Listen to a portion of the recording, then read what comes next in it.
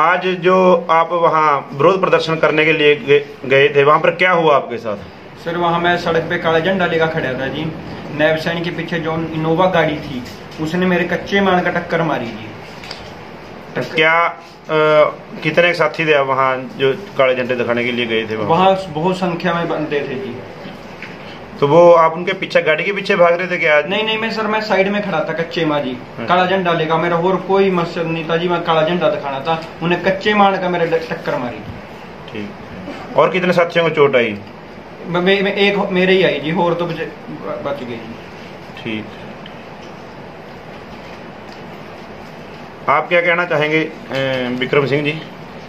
देखो जो यूपी के अंदर कांड होया चार पाँच दिन पहले इन्हें पहला जितने भी हरकत करनी थी, इसको हिंदू बनाने की भी कोशिश करी गई हरियाणा पंजाब का आंदोलन बनाने की भी कोशिश करी गई।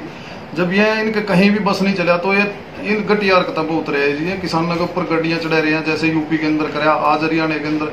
इसकी किस्मत अच्छी लगा लो आप, बल्कि जिस टाइम इसका टक्कर भी लगी आ, ये टक्कर लगने के बाद साइड में ट्रक खड़ा था उसके साथ भिड़ा जी। प्रशासन वाला ने, पुलिस वाला ने उठाया इसको।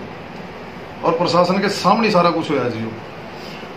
जय सिंह जी नवदीप के फादर साहब हाँ आप क्या कहना चाहेंगे इस पूरे मामले में अभी थोड़े दिन पहला ही खट्टर का बयान सुनया सारे ने और इसी अज ने दे रहा भी दिया कि भी जैसे को तैसा इन्होंने कहा था भी बनाओ अपनी किसानों खड़े करो और लाठीचार्ज करो यही जो लखीमपुर में कराया गया। आज हमारे किसान के ऊपर यहाँ फिर गड्डी चढ़ाई गई है।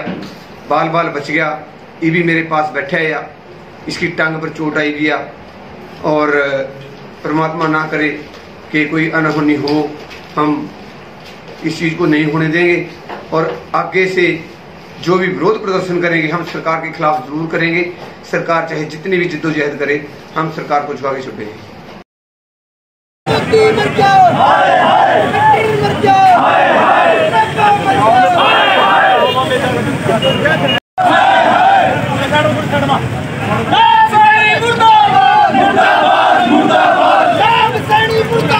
ਮੁਰਦਾਬਾਦ ਮੁਰਦਾਬਾਦ ਮੁਰਦਾਬਾਦ। ਬੀਜੇਪੀ ਸਰਕਾਰ ਮੁਰਦਾਬਾਦ ਮੁਰਦਾਬਾਦ।